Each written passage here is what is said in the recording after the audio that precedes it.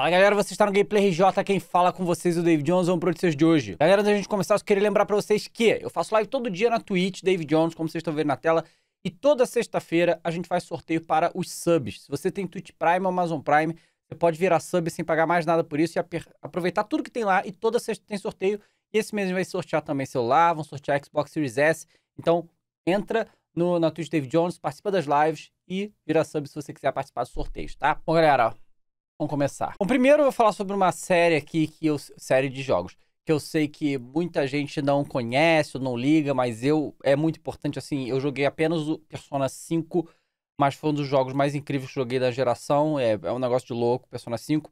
E esse ano a Atlus, que é a desenvolvedora da franquia, vai fazer 25 anos da série, né? Vai comemorar os 25 anos da série. Tá aqui, ó.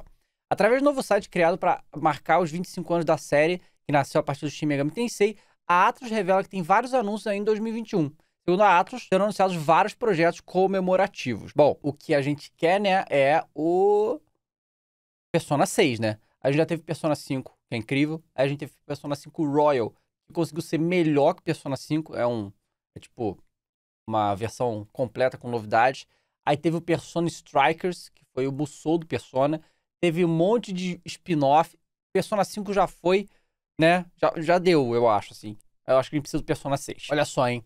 A Warner nega rumores que estavam circulando por aí de que a NetherRealm, desenvolvedora do Mortal Kombat Injustice, e a TT Games, que é a desenvolvedora dos jogos de Lego, ou seja, duas desenvolvedoras extremamente bem-sucedidas, estariam à venda. A Warner nega. Olha aqui. A divisão de jogos da Warner emitiu uma nota oficial para negar o rumor que seus estúdios NetherRealm e TT Games estariam à venda. A informação veio de um porta-voz da companhia depois que boatos sobre a possível venda dos desenvolvedores apareceram no, no podcast de Xbox 2. Jess Corden, que é um dos anfitriões do programa, famoso pelo trabalho no Windows Central, afirmou ter visto documentos onde a Warner teria declarado que os estúdios NetherRealm e TT Games não estariam mais no escopo do futuro da empresa. As desenvolvedoras são responsáveis pelos games Mortal Kombat e Lego. O rumor ganhou espaço no meio de divulgações, então a Warner Games correu para desmentir. O representante da produtora fez a seguinte declaração ao site The Gamer. Eu posso confirmar que a NetherRealm Studios e TT Games vão continuar fazendo parte da Warner Bros. Games e estão incluídas na fusão Warner Media Discovery. Bom, essa fusão foi recentemente anunciada, né, que a Warner vai fazer a fusão junto com a Discovery. Tinham realmente esses rumores de que a Warner Game a Warner fosse se livrar de alguns estúdios de jogos. Assim, tanto a NetherRealm e a TT Games nos últimos anos têm sido extremamente bem-sucedidos com seus projetos. Então, assim, que negócio, né? Você não precisa mexer no que tá bom, né? E é sucesso de vendas também. Então, não faz muito sentido na minha cabeça ver né, essas, esses estúdios serem vendidos. A única coisa fosse que se a Warner, por causa dessa fusão, resolvesse mudar o foco e não querer mais desenvolver os jogos de suas franquias. Aí é completamente possível, né? é completamente possível. Mas não parece ser o caso e parece que vai continuar como está, o que eu fico satisfeito. E galera, chegamos a um novo recorde, ok? Um novo recorde. Uma cópia fechada do Super Mario 64 se tornou o jogo mais caro de toda a história dos videogames, sendo vendido por 1,5 milhões de dólares. É meio loucura isso, porque eu já peguei esse jogo na minha mão, não esse fechado, mas tipo, na época eu não tive, mas o amigo meu tinha. Eu lembro que ele comprou no 64 dele, a gente abrindo a caixa do Mario 64, tá ligado? E sei lá quantos anos depois, o bagulho foi vendido por 1,5 milhões de dólares aqui. Uma cópia fechada no Mario 64 tornou-se o mais caro de todos os tempos e bateu de forma incrível o anterior recorde que pertencia ao Zelda. Durante dois anos, a cópia do Zelda figurou como o jogo mais caro de todos os tempos, após ser vendido por 870 mil dólares. Meu Deus, mas ganhou muito foi vendida uma cópia selada de Super Mario 64 por mais de 1,56 milhões de dólares. Aí tá aqui ainda, porque não, não é só a cópia fechada. É a, a caixa fechada no estado físico quase perfeito.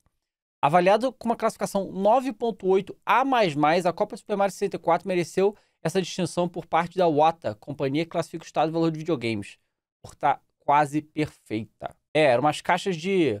As caixas do 64 eram tipo um papelão, né? um papel cartão, né? Um papel, né? Então, assim, a chance de ter isso em bom estado hoje em dia é muito pequena. Que loucura, hein? Temos um novo recorde. Foi para finalizar, a gente sabe que um dos grandes jogos que vai ser lançado esse ano aí vai ser o Forza Horizon 5, né? E a ó, Playground Games confirmou que o Forza Horizon 5 vai usar o Ray Tracing até no áudio. Olha aqui. Segundo compartilhado por Fraser Strachan, principal designer de áudio na equipe do Forza Horizon 5, Ray Tracing não terá só impacto na qualidade gráfica do jogo, mas também no áudio. Ele fala, sim, afeta o áudio. Pegamos na Ray Tracing, estamos usando em todo o mundo. Na verdade, estamos enviando é, Ray Tracing com rastreio para de detectar paredes, edifícios e tetos. Então, assim, o Ray Tracing também, eu não sabia que o Ray Tracing servia para áudio também, não. Meio interessante, né? Isso aqui é uma espécie de localização pro sonar que a Microsoft chama de Pro Pro Project Acoustics. Um motor para ondas acústicas, uma experiência 3D interativa que cria modelos de efeito de ondas para oclusão, obstrução e reverberação em cenas complexas sem a necessidade de sinalização manual ou uso Ray Tracing que exige imenso da CPU, tá? Então, assim, loucura, né? Eu adoro, adoro é, um áudio bem construído, né? Vocês sabem, tipo, ver os jogos que eu jogo, cara, os barulhinhos, eu amo, é, é ASMR, né? Adoro, sabe? Então, assim, a evolução no áudio eu acho bem importante pro mundo dos games que adiciona uma camada a mais profundidade, né? Bem legal. Bom, galera, finalizar por aqui. Muito obrigado a todo mundo que assistiu. Se gostaram, não esqueça de se inscrever, clica no gostei e comenta. Até a próxima com mais um jogo, mais um vídeo. Valeu!